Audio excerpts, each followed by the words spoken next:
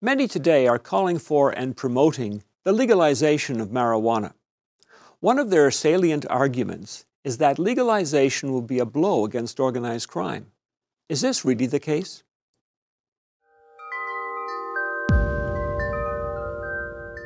As presented on an earlier viewpoint entitled High Society, the vast weight of medical opinion, even as articulated on the Government of Canada website and by the Canadian Medical Association, is that marijuana is a dangerous drug with a host of serious, lasting, and in some cases debilitating side effects which should not be legalized for social use.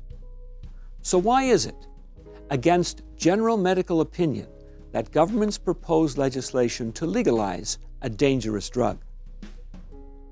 A key argument used by proponents is the assumption that legalizing pot will undermine a key source of income for organized crime.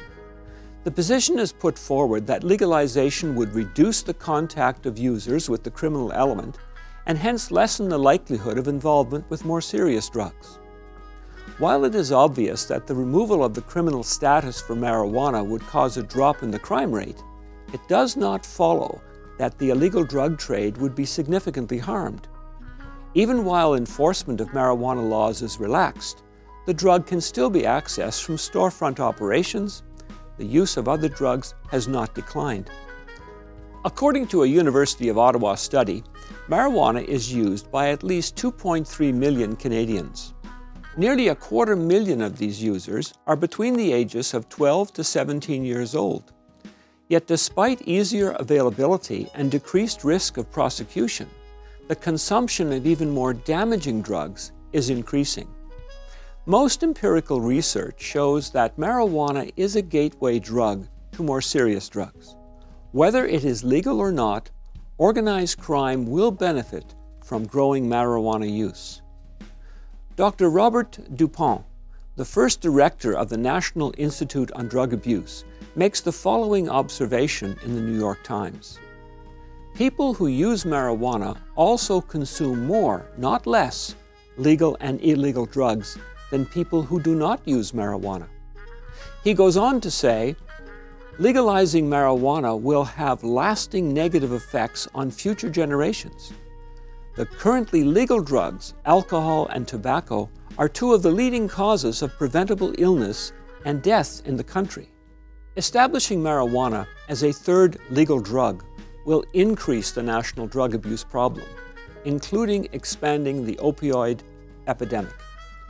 Recently, I received a letter that tells the tragic story of the impact of marijuana.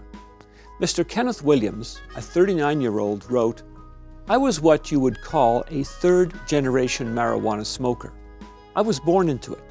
My first breath taken in this world wasn't a lungful of fresh air, but weed smoke. I could not learn reading, writing, and arithmetic at an appropriate pace with others my age. He indicates that marijuana drew him into a crowd that used weed and other drugs.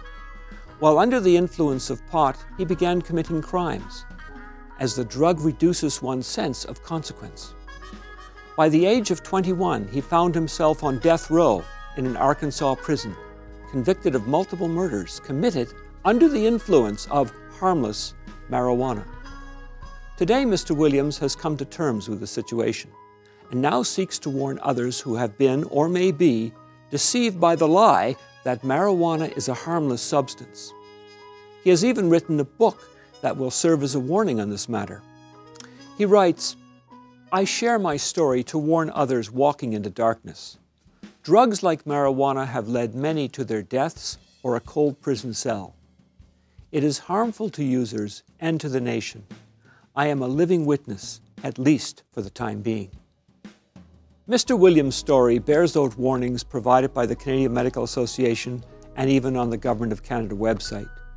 Research and common sense demonstrate that legalization of marijuana will increase, not decrease, violent drug crime and the results of drug abuse.